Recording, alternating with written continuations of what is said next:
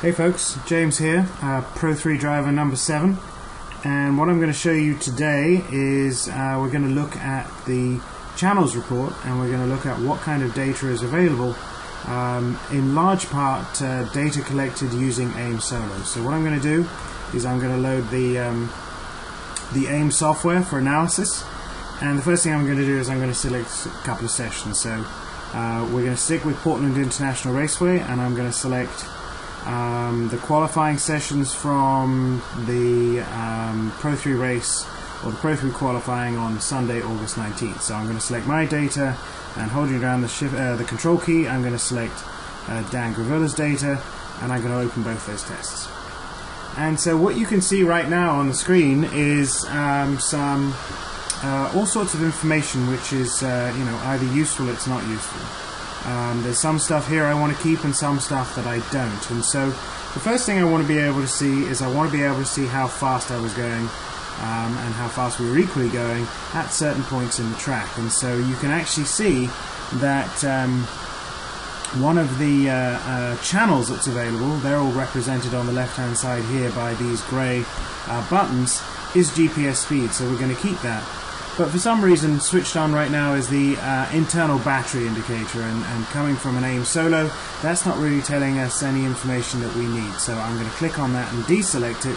So right now, what we can see on this chart, and it's represented in terms of an overlay, but you can see it if I just click on my data, which is my tab at the top, you can see that's my data that is associated with, uh, with uh, my fastest lap uh, in this session. Um, and uh, so that's the first thing. But I want to be able to see more than that. One of the other pieces of information that's captured by the AIM Solo is um, acceleration and deceleration. That's represented in um, GPS uh, longitudinal acceleration. And you can see that on the left hand side here, captured by all AIM Solos, and also captured by the uh, MXL Pista as well, is GPS long ACC. That's GPS longitudinal acceleration.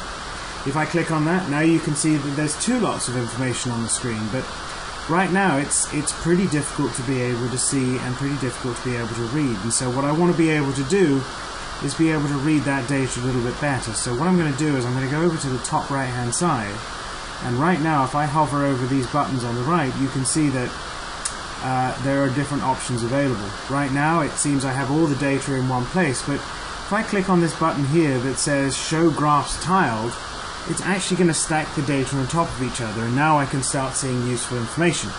So you can see here on the top part I can see the speed and now represented by um, GPS longitudinal acceleration when the chart dips down that's deceleration and when the chart goes back up that's acceleration. And so now I can see how fast I was going and I can see where on the track I was braking and where on the track I was accelerating. Now, interestingly enough, this information is also gathered and is available for Dan's test as well, and you can see that. But if I actually click on the test compare button here, right at the very top, what the system is going to do is going to overlay both of those charts. So we've now got some comparison, and it's going to add a third chart on the bottom of this, which represents time over distance. And so you can see whether that time is um, represented by one of the drivers being faster or slower than the other.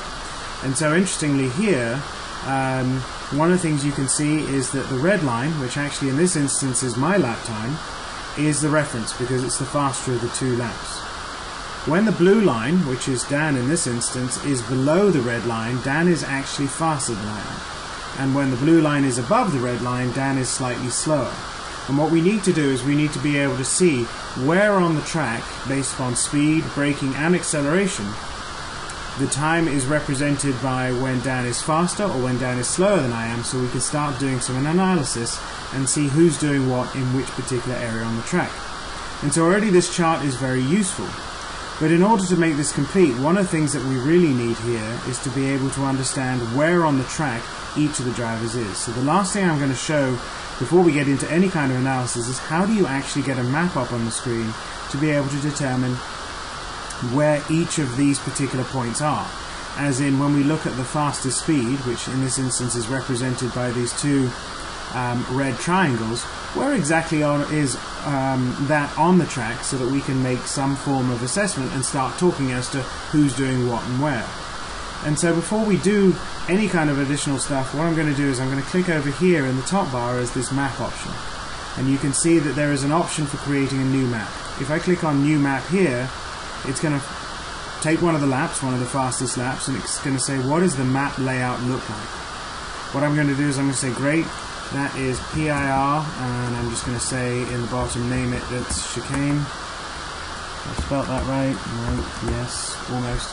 And I'm just going to click on OK. What that's going to allow me to do now is not only is it broken into segments which makes analysis easier, is that I can click up here and show track map. And now what it's doing is it's actually showing where we are on the map. And so you can see that's represented here by the cross. And so if I'm so interested in finding out where now that fastest point on the track was, if I click now on the fastest point, the cross is showing that at Portland International Raceway, the fastest point right now for a Pro 3 car is as we approach turn 10 and we go to hit the brakes after the back straight. And so now I've got all the information that I need to be able to make some kind of analysis, or at least start some rudimentary analysis. Obviously there's a lot more data that can be gathered.